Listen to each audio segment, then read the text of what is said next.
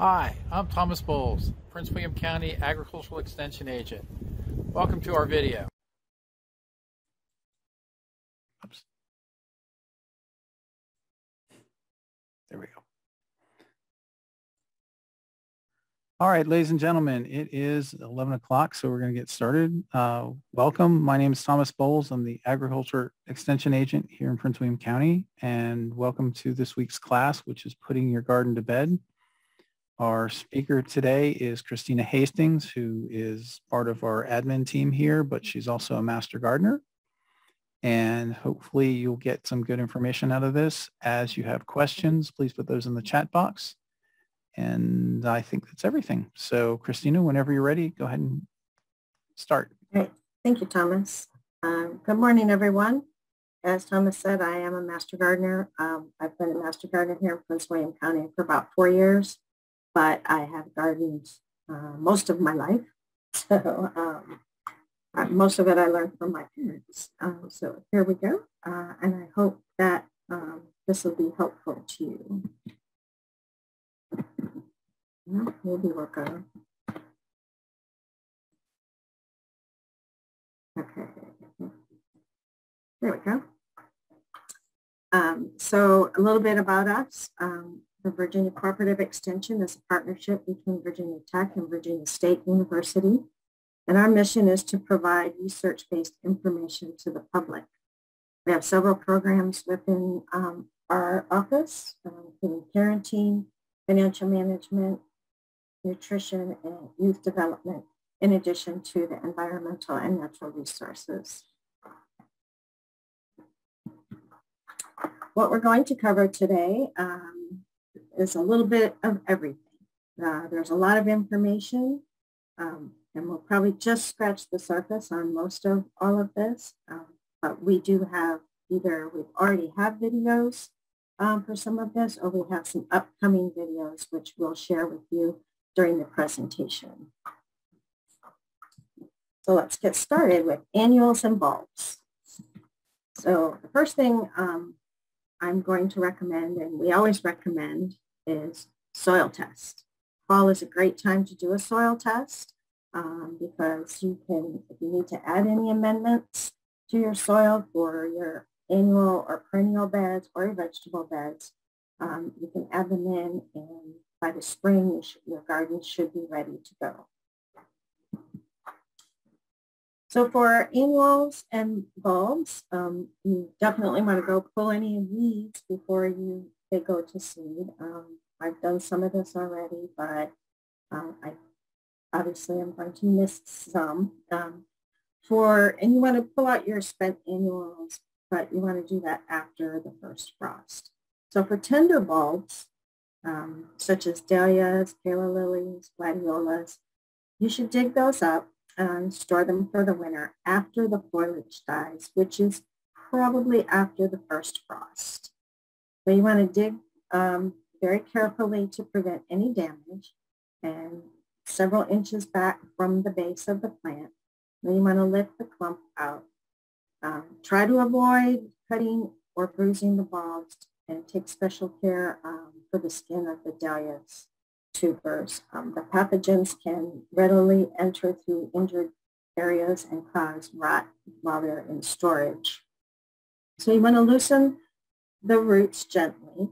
Um, and I usually take a garden fork um, or even my fingers and just pull them apart, knock some of the dirt off, shake off the excess soil, um, and then pull them gently apart and then when I get them apart, I wash off the bulbs uh, with a gentle stream of water and then discard any damaged bulbs that you may have.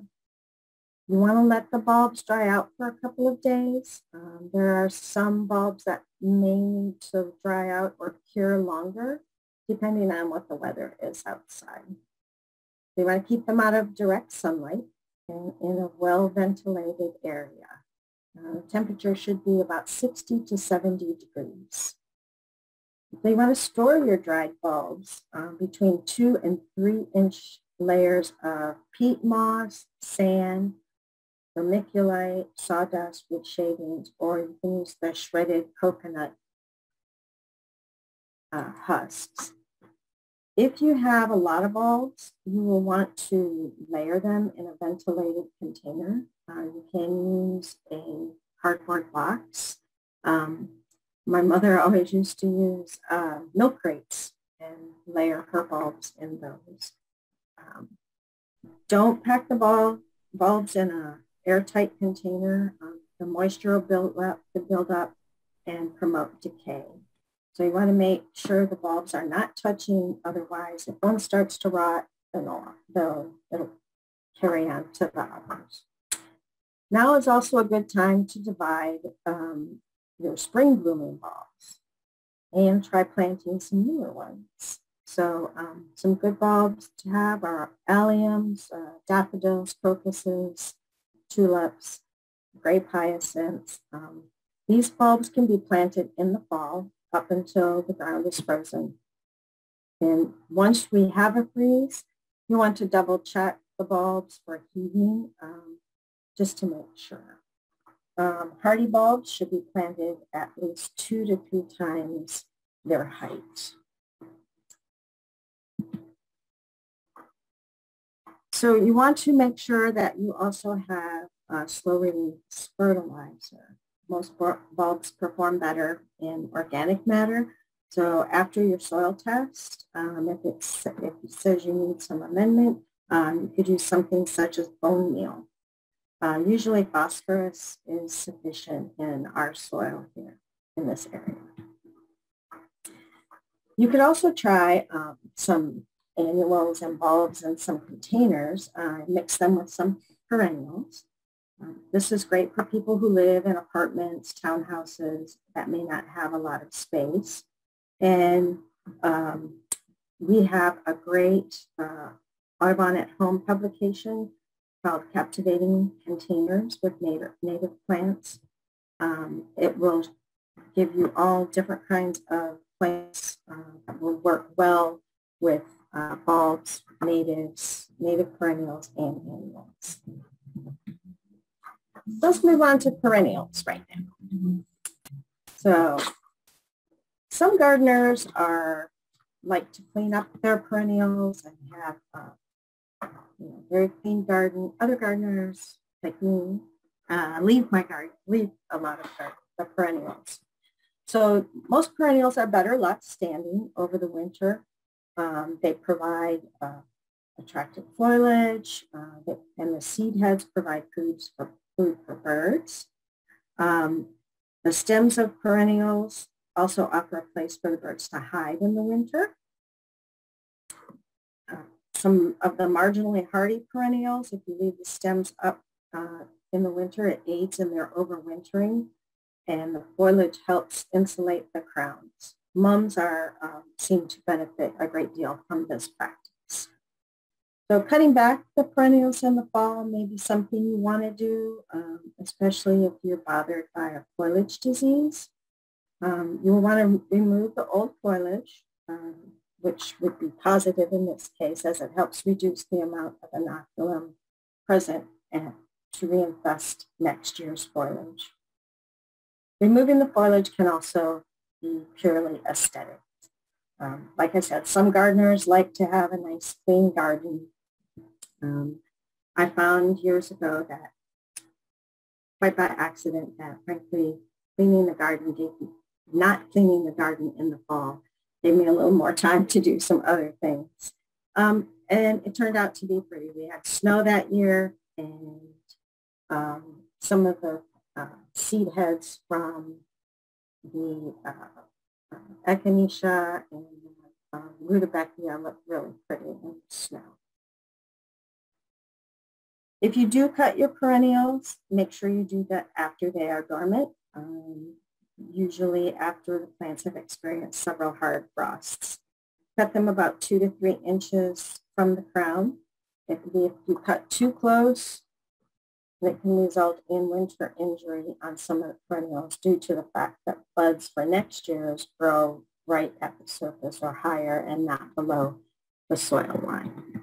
So here are a few of those perennials that look pretty in the fall and winter. Uh, northern sea oats, um, They give some movement as well as color. There's the echinacea of snow on it.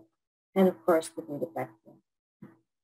And one of the best things uh, for not cutting your perennials, like I said, is the um, it provides food and um, habitat for our birds. Of course, when you're cutting down, if you're cutting down, make sure you save some seeds for next year for your garden. Um, we, our next uh, class on Wednesday is seed saving. It'll be October 27th. So make sure you tune in to that. You also want to um, divide your perennials. This, oops, sorry about that. Uh, this is a great time to, to divide your perennials. You want to use clean, sharp tools, and you can clean your tools by using one part bleach to nine parts of water.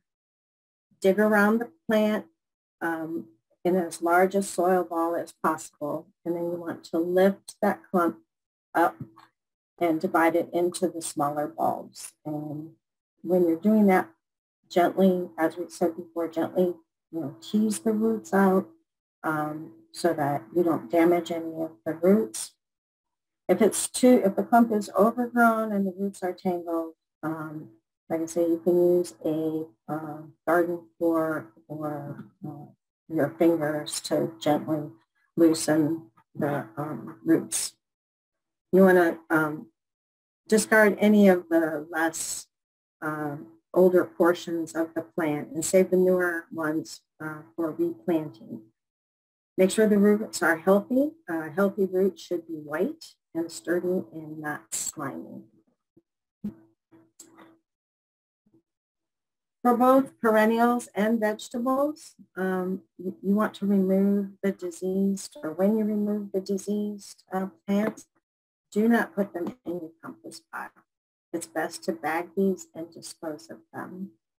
Most uh, internal temperatures of most home compost piles don't reach a high enough temperature to kill plant disease pathogens. So diseased organisms and weed seeds aren't destroyed. And so it's best to just dispose of these, um, bag them and dispose of them. Next, we're going to talk a little bit about vegetables. I'm not going to go too deeply into vegetables because last week we had fall vegetable gardening and you can view that video on our YouTube channel. Again, you want to test your soil. Um, this, as we said, it's a good time to uh, add any amendments. It gives it time to work over till the spring. Um, you, if you have perennial vegetable and annual veg, you would probably want to do soil tests, uh, separate soil tests for each one. I don't know if you all do this or not, but I do. Um, and I would recommend doing record keeping of what you planted in your garden. I have a gardening journal that um, I record every year uh, what I have. I have four vegetable raised beds um, I record every year what I have in those beds. I also record in my perennial and um, annual beds when I plant, what I've planted.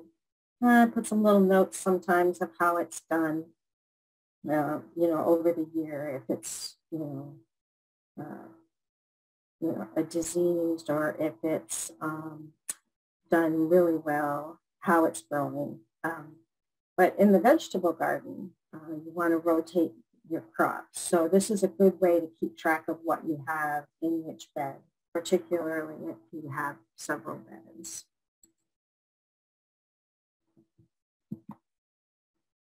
So vegetable planting, um, good vegetables to plant in the fall. You can plant garlic and rhubarb. Um, there are some other cool weather crops that you can plant. And of course, we recommend using cover crops. Um, a lot of this, like I said, I'm not going to go into detail. We did a fall vegetable um, video. It was posted on our YouTube channel right now. So you can see what you can um, plant. You can still plant this fall. If you aren't going to plant any vegetables, we recommend veg, uh, planting cover crops in your vegetable garden. Um, this will help the soil add nutrients. It helps suppress weeds, uh, pro provides nutrients to the soil.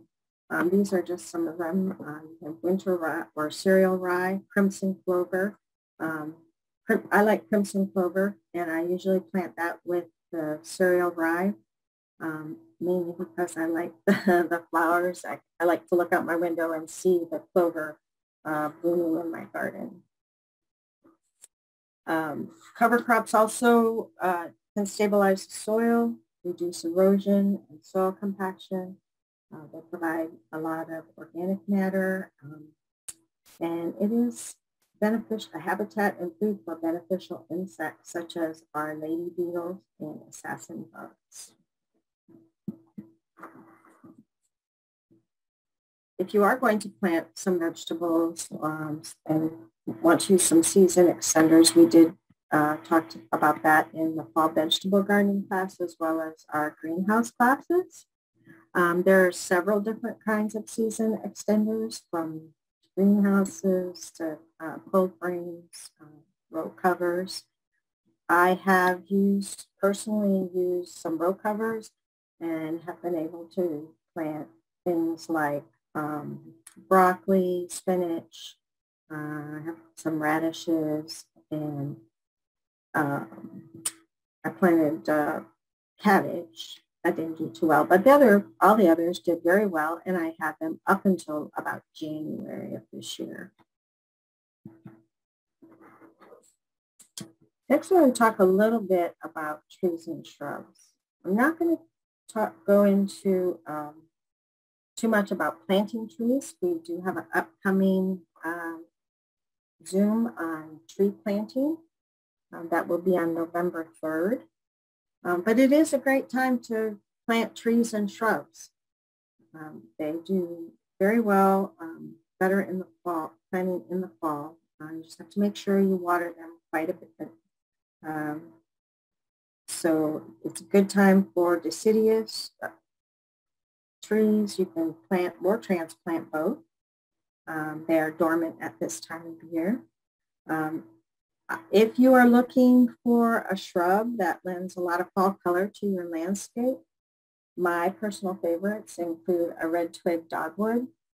Um, they have uh, white flowers in the spring through summer and then they turn into berries for the birds. The leaves turn a really pretty rust color in the fall. And when the leaves fall off, you have the red twigs in the winter. So they, they provide some color in your garden pretty much year round. Uh, American beautyberry is also a good one to plant. It provides uh, food and shelter for birds and insects. Um, you do want to uh, prune away any dead or diseased branches on your um, trees or shrubs. And for more information on when is a good time to prune, we uh, have updated pruning calendars. Uh, they were just updated recently. And you can find those on uh, the website, resources.ext.vt.edu. And we also have copies in our office. And here are the um, publication numbers of those resources. So there's, there's three different ones on the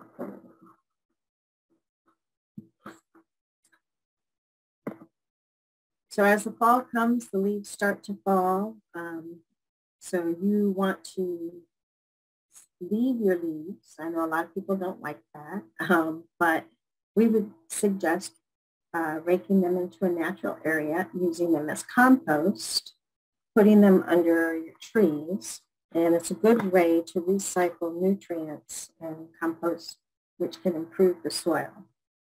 So leaves account for um, huge amount of yard waste that you might need to deal with before the winter so that you are not smothering your lawn.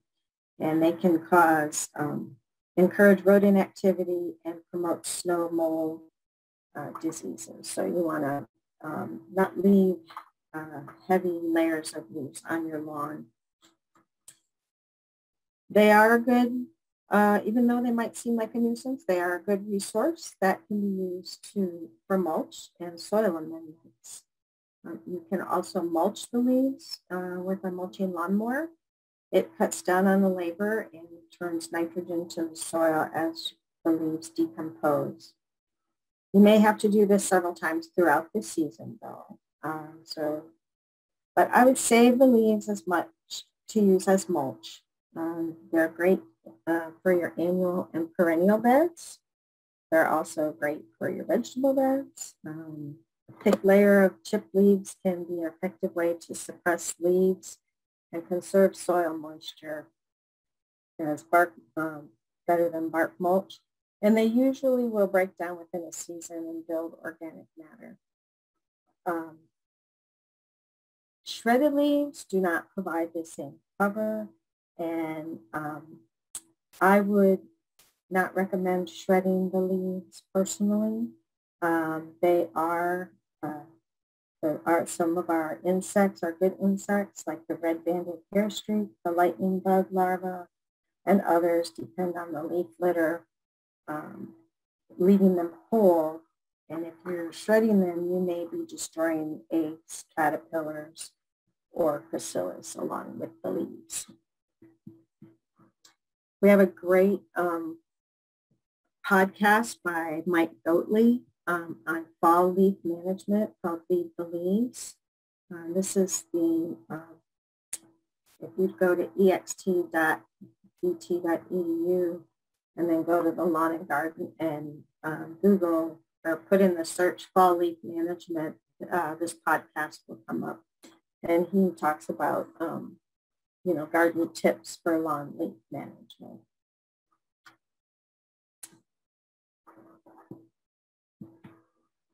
And that brings us to compost. Let's talk about these for composting. So if you're building a compost pile for your garden, or, um, you want to make sure you add the green and brown um, and some chipped wooden materials. There are a number of things that you should not add to the compost pile, um, which is listed on the probably the right of or left of your screen. Um, some green materials that are rich in nitrogen and protein um, tend to heat a compost pile up because they help the microorganisms in the pile grow and multiply quickly. So grass clippings, vegetable and fruit peels, manure, cow, chicken, rabbit. Um, my granddaughter has a rabbit, so all his uh, manure goes into my compost pile.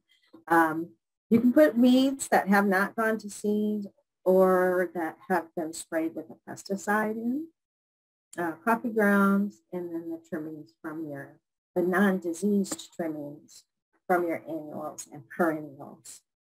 Some brown carbons include, are, browns are carbon or carbohydrate rich materials.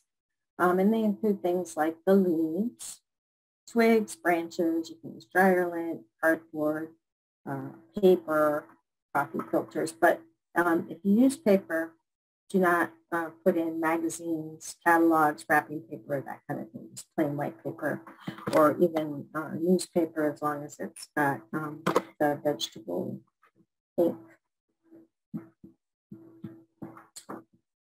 here are some resources um, on composting. Our Virginia Tech publications, again, you can get those off the resources.ext.vt.edu website.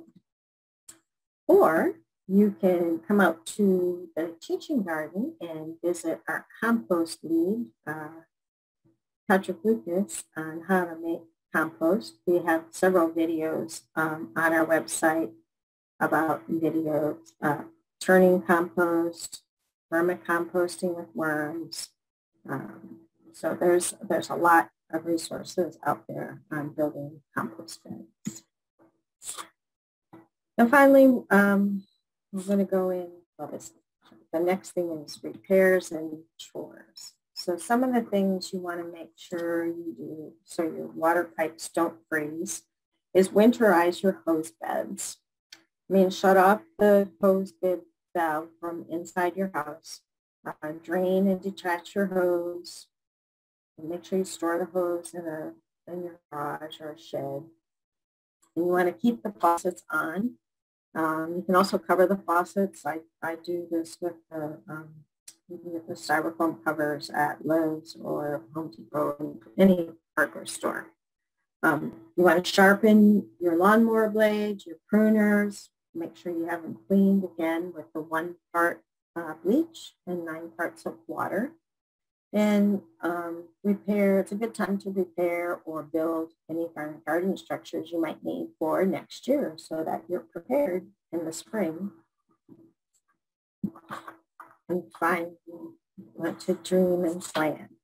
So you can do winter sowing. Um, you can sow annuals, bulbs, perennials, vegetables. Um, I have a winter sowing class coming up. It will be December the 15th. Um, we also have a current video on our website. This um, I've tried uh, winter sowing some of the some perennials, um, native perennials such as uh, butterfly weed. Uh, I did some milkweed, so, which worked out very well. And I always do my vegetables uh, winter sowing. You can also schedule an Audubon visit, um, and our Audubon ambas ambassadors will visit your home and walk, do a walkthrough, um, what your vision is for your garden, um, suggest some plants. You can help uh, plan and develop an area that might have bare or, or maybe you just want to change it out from um, non-natives to natives. And you can do that by contacting our Master Gardener desk or um, going on the Audubon at Home website and filling out an application. So to do a wrap up, uh, you want to pull any weeds left in your garden before they go to seed. Um, you prioritize removing and discarding the disease top growth. Um, make sure you leave some healthy seed heads dried stalks and leaves. Um, they add different dimension to your garden when the snow falls. Some ornamental grasses will add color and movement into the winter landscape. Um, while cutting everything back might look neat and tidy, a lot of perennials are better left, uh, better left standing over the winter. And in addition to the, uh, again, as the having uh, attractive foliage and providing seed heads uh, for birds. They offer food sources as well as um, habitat for the birds. Uh, stems of perennials that left in place, um, the birds will like to hide in that as well as some of our uh, native insects. Uh, some marginally hardy perennials, if you leave the stem, it aids in winter overwintering and it helps insulate the crowns. Cutting back perennials in the fall may be something you would want to do if, again, um, some of the foliage is diseased. But here are some reasons not to clean the garden too much.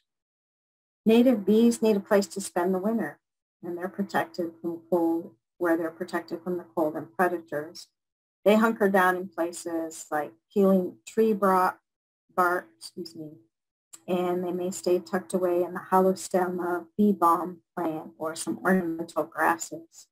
And they spend the winter as an egg or larva buried in the ground. Butterflies, well, monarch butterflies uh, overwinter in Mexico. Some of our native butterflies stay right here so, um, and overwinter as adults. They nestle in rock fissures under the tree bark and in the leaf litter until it get, until spring. Um, and butterflies will overwinter um, in several stages, but either in the chrysalis stage, which the swallowtail family does, um, or they and they can be found hanging on dead plant stems or tucked in the leaf litter.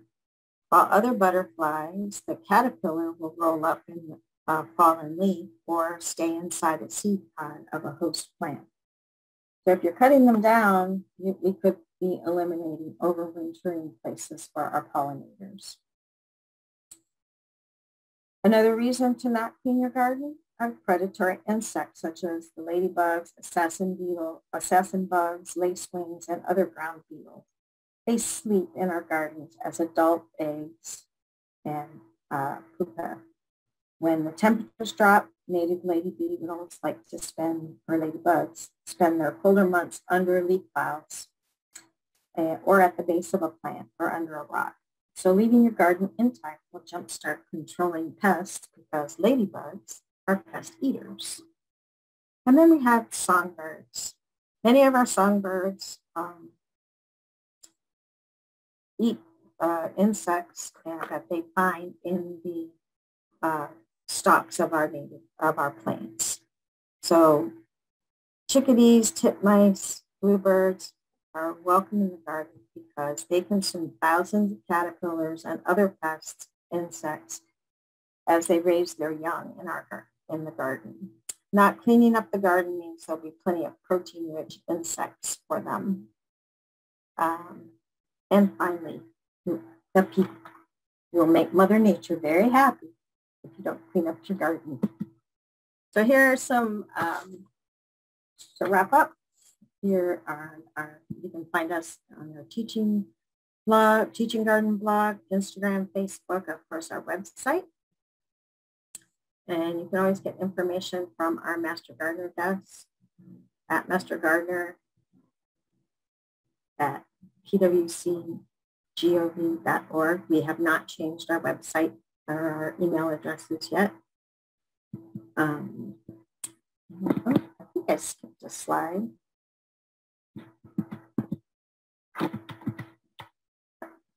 I don't know where it went, but I have a list of the classes that we have coming up.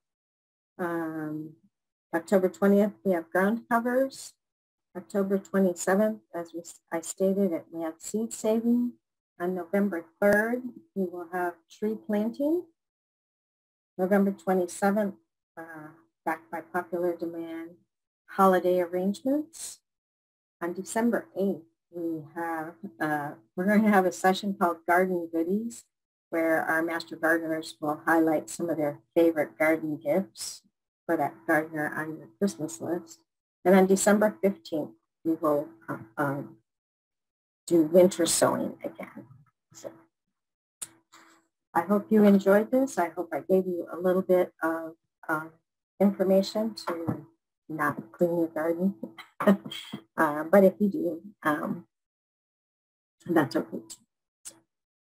Thank you all for attending. I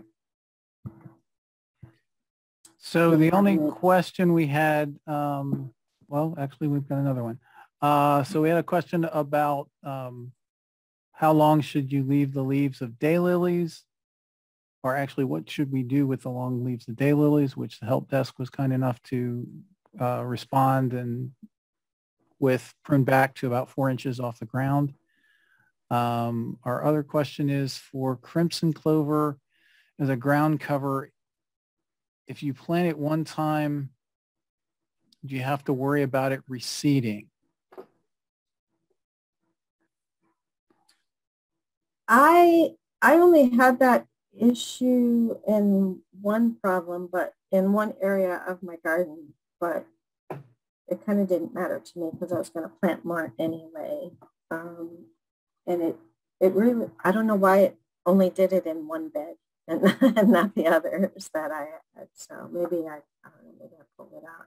But I let mine go and um, just, I let it dry up and just stay there and then plant around it because it acts as a weed cover. Yeah, crimson clover is usually I mean, you you can let it go long and and let it drop seed, and it will put seed back up. But it's it's not one of those things. It's not like buckwheat where if you let it go to seed, you'll have buckwheat coming up um, for sure in heavy doses. Uh, crimson can is you know if you've got a couple crimson clover plants that come back up, they're easy to pull, so they're they're not really that aggressive. Do we have any other questions?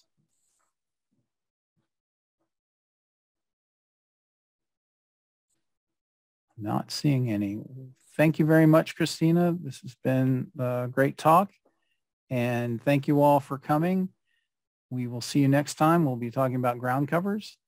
And have a good week. And we'll see you. Thank you, everybody.